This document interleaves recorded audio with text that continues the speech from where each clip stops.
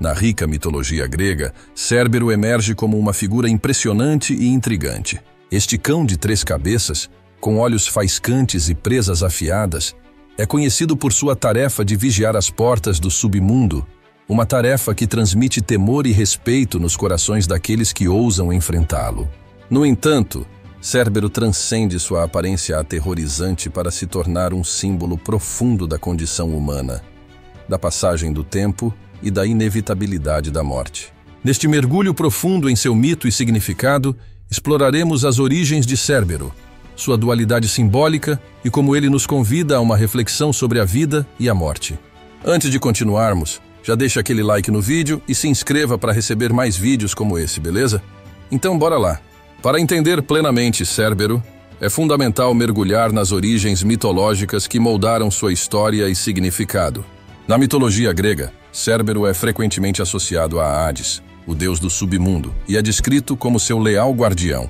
Suas raízes podem ser rastreadas até os poemas épicos de Homero, especificamente na Odisseia e na Ilíada, onde Cérbero é mencionado como o temível cão que protege a entrada do mundo dos mortos.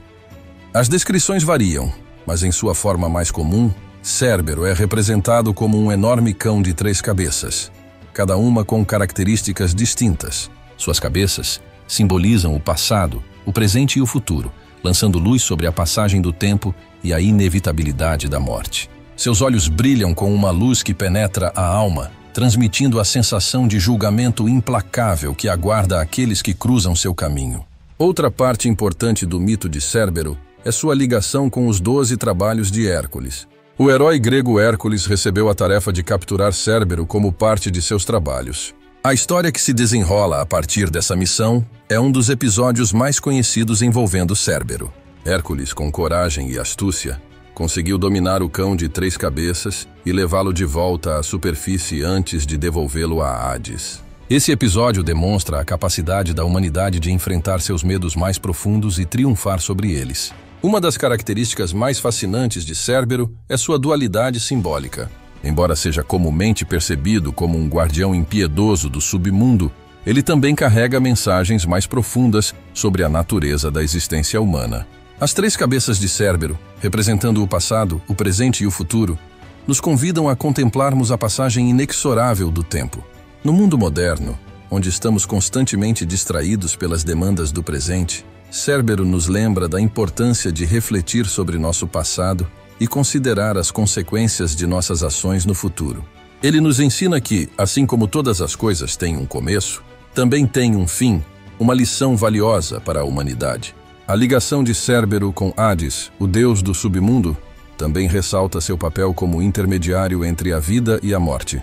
Enquanto ele impede a passagem de almas para fora do submundo, também permite que elas entrem. Essa dualidade retrata a complexidade da morte, que não é apenas o fim, mas também o início de uma jornada desconhecida. Cérbero, nesse contexto, nos convida a enfrentar nossa própria mortalidade e a considerar o que aguarda além dessa fronteira. Cérbero, com sua presença imponente e simbolismo profundo, serve como um espelho para a humanidade, instigando reflexões profundas sobre a vida e a morte. Isso nos incentiva a ser mais conscientes de nossas ações e escolhas, pois elas moldam o nosso destino. A história de Cérbero nos faz questionar nossos próprios medos em relação à morte. A escuridão do submundo que ele guarda pode ser vista como uma metáfora das incertezas que todos enfrentamos quando confrontamos o desconhecido. Em vez de temer a morte, Cérbero nos desafia a abraçar a inevitabilidade dela e a encontrar significado em nossa existência finita. Cérbero também nos lembra que, assim como Hércules, Cada um de nós tem a capacidade de enfrentar nossos medos mais profundos e triunfar sobre eles. Ao conquistar Cérbero, Hércules não apenas concluiu uma tarefa árdua, mas também demonstrou a coragem e a força interior necessárias para enfrentar os desafios da vida. Isso nos inspira a abordar nossos próprios obstáculos com determinação e resiliência.